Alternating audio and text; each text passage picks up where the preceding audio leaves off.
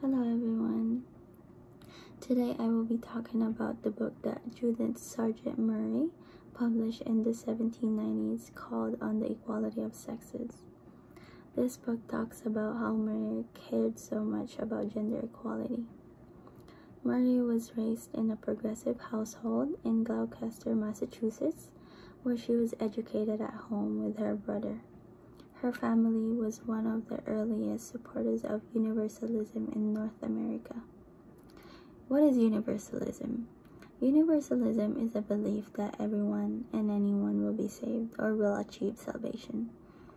She was fortunate enough to grow up in a privileged environment where she was exposed to political issues, philosophies, and more than some of the women of her era. She has developed her opinion through her own studies and experiences and had the courage to fight to fight for what she believes in, which is I admire. And that would be that everyone is equal, both men and women, and that men are not superior more than women.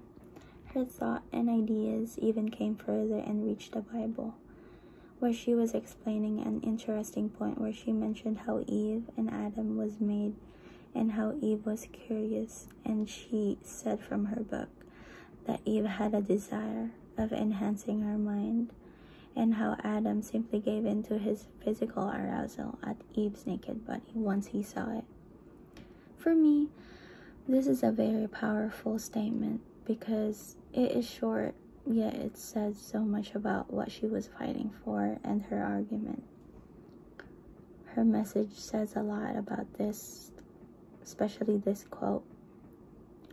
Murray's analysis would be scandalous for the First Parish Church, but with her family's privilege and family's name, she was able to deliver her messages across a lot of people, especially a lot of women. This is an important argument that can still be applied. Time has changed from then to now because now we can say that women have more rights and a lot of things are not limited to us women women are still fighting for their freedom because of the gender inequality that we still face to this day and it is hard for a lot of women around the world. Her book proved that women can also be cap- capable of what men can do.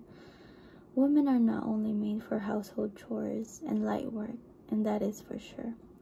We can do heavy jobs like what men can do.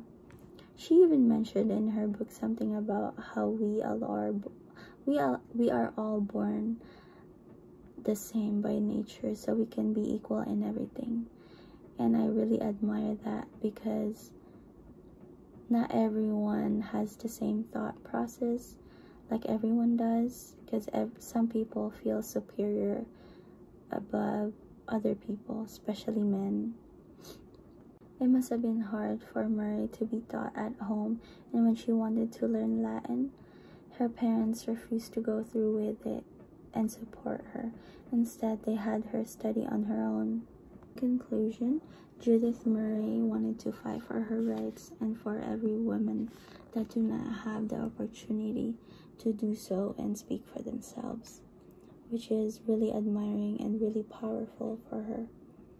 She became every woman's voice because of all the mistreatment she has seen and what she has been through.